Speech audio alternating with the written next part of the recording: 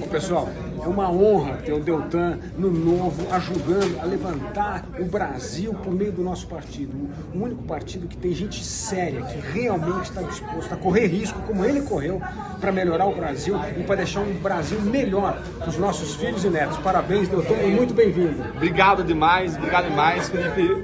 É uma honra para mim me unir a esse grande time de pessoas íntegras, honestas, competentes, apaixonadas pelo Brasil e defendem boas causas em que eu acredito, como a defesa da vida e da família, como a defesa do combate à corrupção, os limites para o Supremo Tribunal Federal, a contenção dos abusos do PT, como mais emprego e renda, liberdade de expressão e colocar todo bandido, não importa onde eles estiverem, na cadeia. É isso aí, tamo juntos. Isso aí, vamos pra cima. Nossa, é um partido de gente que não desiste, se une a esse time de pessoas que não desistem do Brasil. É isso aí.